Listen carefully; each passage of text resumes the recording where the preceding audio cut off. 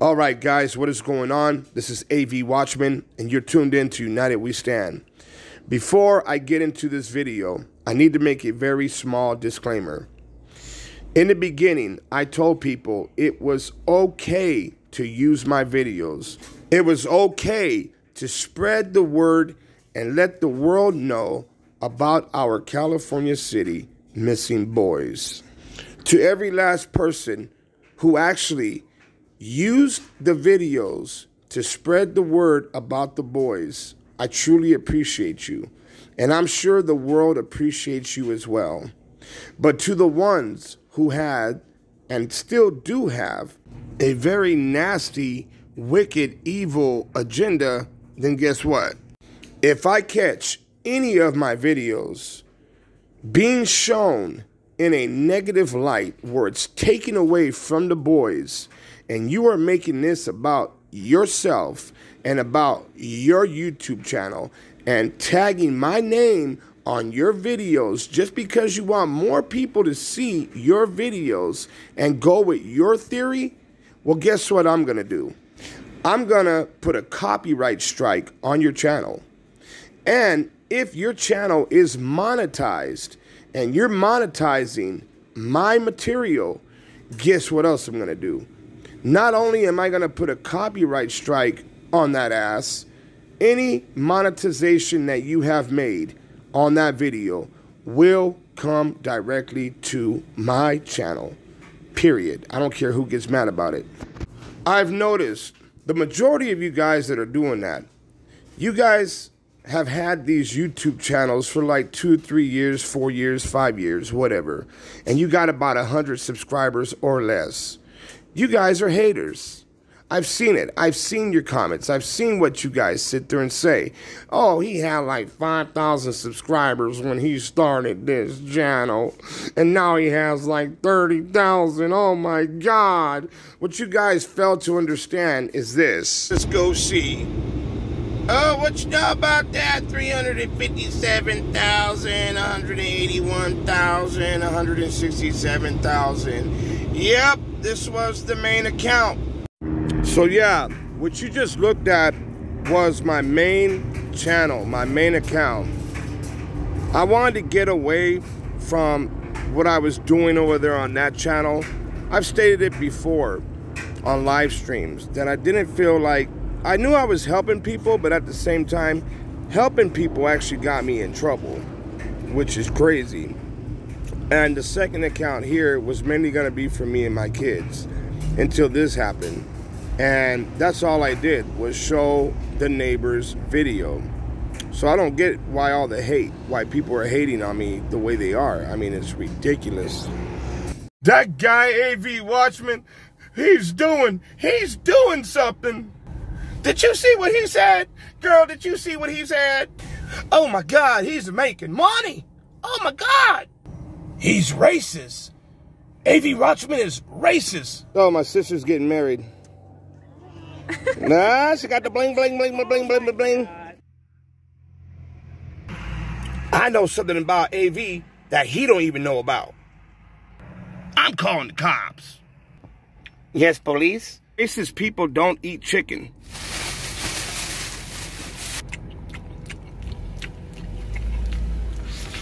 What you grubbing on, Mom? I'm grabbing on chicken leg and potato salad, baby. chicken leg and potato salad. So guys, I'm making this video just to uh, set the record straight. It's crazy because I got people saying that I'm racist and that I will not allow black folks to search for the boys. It's unbelievable how people are starting so much drama when it comes down to finding the kids the people that are actually trying to help. I mean, I'm doing everything that I possibly can to help, but yet I'm hitting roadblocks left and right. People are purposely, purposely sending me on wild goose chases. Go here, go there, go here, go there, go over here, go over there. I'm sure you guys can figure out who are the people that started all this mess. And that's exactly what it is.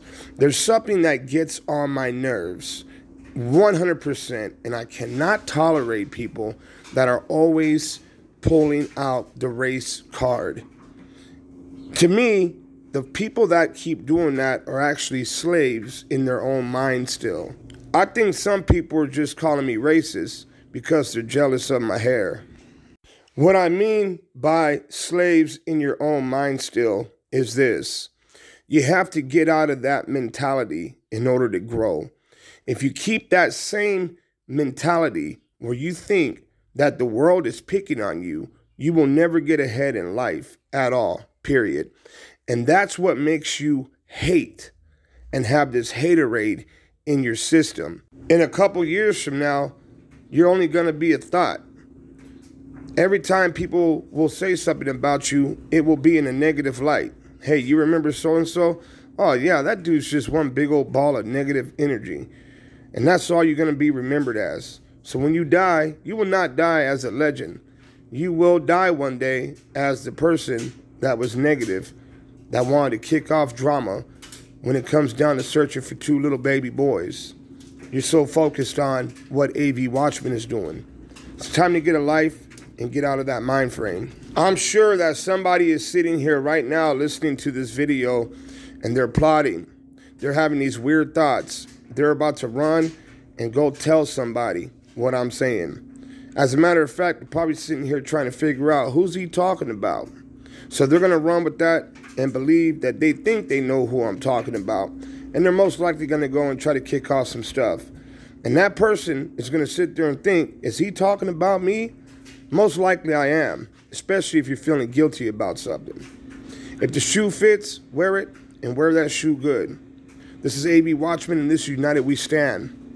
This will be the first and last video you guys will see of me addressing this. Ever again, you will never see this type of address again. Period. Period.